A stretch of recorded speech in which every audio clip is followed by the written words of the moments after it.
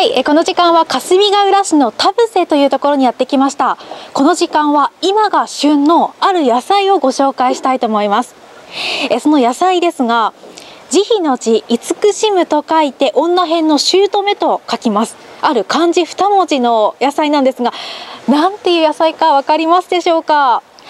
今その、え、お野菜を収穫終えましてで選別が終わりそれらをこう出荷するためのこう準備をされている作業所にお邪魔しています。でこちらには女性の方が何名かいらっしゃって、えー、厚手のまあ衣類の上にトレーナーを着てあったかい格好をされて手袋をはめているんですよね。でこれでそのあるものの皮を剥いていくんだそうです。でそのあるものというのがえ今私たちの目の前にあるこれあの丸い、えー、玉お芋のような玉の上に、えー、三角のこう芽が出てるんですね。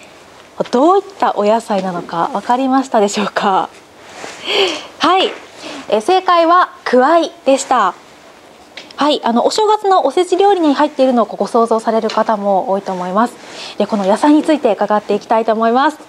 えー、この時間教えてくださるのは、えー、JA 土浦くわい部会の部会長宇津木薫さんです。宇津木さんこんにちは、はい、寒いとこどうもご苦労様です。はい。やっぱりこうちょうどお正月の、えー、お野菜ということで今が旬なんですね。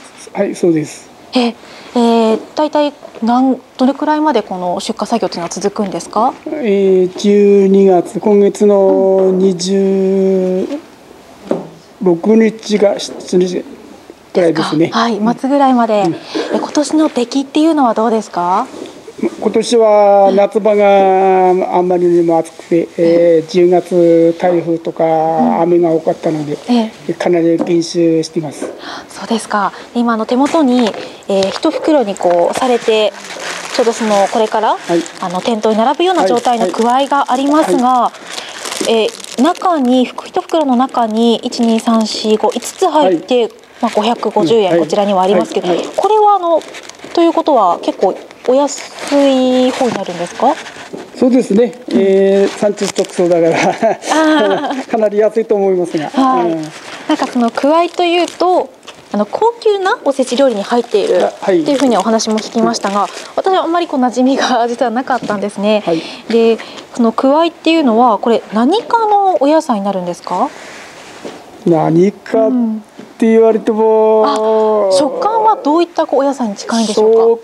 食感はねあの里芋のような食感ですね。うん、でその上にあの三角のその芽がね芽がね出てますね。はいはい、でこれは、えー、お料理なんかするときにはどういうふうな食べ方をされるものなんですか？これは一般的にはあのおおせちのお重さのあのののせるんですよね。それで、えー、まあちょっと味付けて、えー、のせると思うんです。うんで私も実はあまり食べたことがなかったのでこうどんなふうに食べられてるのかっていうのはちょっと事前に調べてしまったんですけど、はい、この芽の部分も一緒に煮物として、えっと、煮るんですね。そうです、あこれ芽が出るという縁起物なんで、うんはい、芽を折っちゃっては意味がないんで。目串、えー、一緒に、えー、煮たりして、えー、食べます。ああ、芽が出るっていうことからおせち料理にもやっぱり使われていたんですね。はいはい。うん。他にはどんな食べ方ができるんでしょうか？それね、あとこのちっちゃい粒のやつは、はい、小粒ちゃんって、うん、これあの揚げて、えー、このまま目串揚げて、はい、えー、上がったとこ今度は味噌をちょっと振りかけて、うん、うん、まあ酒のつまみには最高ですね。うん、あと結構子供たちも喜んで食べますよ。あ、そうですか。うん、えー、でもあのこの時期だけですか？やっぱりこの時期しか食べられない。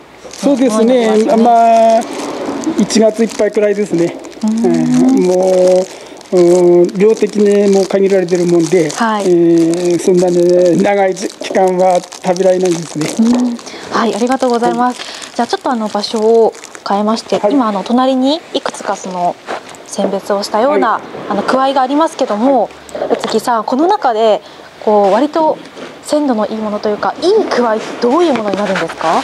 そうですね、うん、えー、見分け方とか。どういうところを見てこうわ見分けていけばいいんですか？こうやっぱり丸くてこう玉太りしてて真っ青なやつがこうい一番いいんですよね。こんなふうに。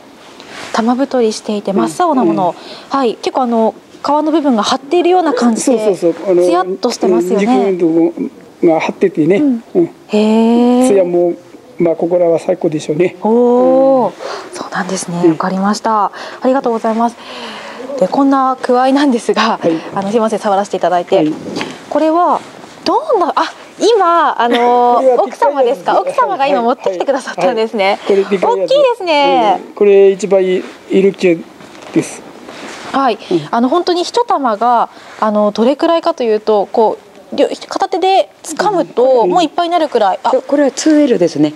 2L、サイズで言う 2L とも 2L。うもう築地で一番欲しがってる 2L あー。でその後が次の。これが L ですね。ちょっと一回り小さいやつ。うんずっと小さいですね、うん。今これが一番もう最高です。色もいいし、へえ、でやっぱり田んぼによってどうしても色の出方が変わっちゃうんですよね、あ、田でやっぱりんぼによって？うん、田んぼの土質によって何か所にも作ってあるから。ら何によって違っちゃうんだよね、はい、そうね。えっといいくわいにするにはどういうところに気をつけて育てていらっしゃるんですか？まあ、まあ、肥やし肥料はもちろんだけど水を切らさないことだよね、田んぼがいつも水を張っとくようにして、あのすいませんがここまで聞いて私くわいがどんな風に育てられているのかちょっと知らないんですけども、はいはいはいえ水を張っているんですか？み水は切らさないように十分に張っておくん。です、うん、どのくらい張るんですか？うーん。田んぼの土からまあ10センくらいは張っておいた方がいいんですよね。土があの固ま締まっちまうとやっぱりくわいそのものもうん貧気しちまうんですよね。土が硬くなると。だから水張っとくと土が柔らかくていいから、ま、丸くて、えーあの貧気した芽が少なくできるわけです。でなんかあの宇津木さんが先ほどおっしゃってたところによりますと 収穫するのは結構大変なんだよってことでしたよね。は いはい。はいまあ収穫する時やっぱりこの芽が一番大事だからね、んこれ折れないように。折れないように、うんまあ、丁寧にえー扱わないと、うん、やっぱり実が折りちゃうと商品価値がなくなっちゃうから、そそこが一番大大変値が苦労しますね。わかりました。最後にラジオを聴きの皆さんに、はいくわいこう目の前にもしおせち料理が出てきた時にはこうどんな風に味わってほしいですか？まあ、うん丹精込めたものなので、皆さん、うん、が美味しく食べてもらうように、うん私らも水産に励みたいと思いますのでどうぞよろしくお願いします。はい、ありがとうございます。宇津木香織さんでした、はいありがとうございました。ありがとうございました。どうも。ということで、あの芽が折れないようにと、はいとってもこう丁寧に、はいえ栽培されていらっしゃいます。えそんな作業場所からこの時間は JA 土浦くわい部会の部会長え宇津木さんにえくわいについて教えていただきました。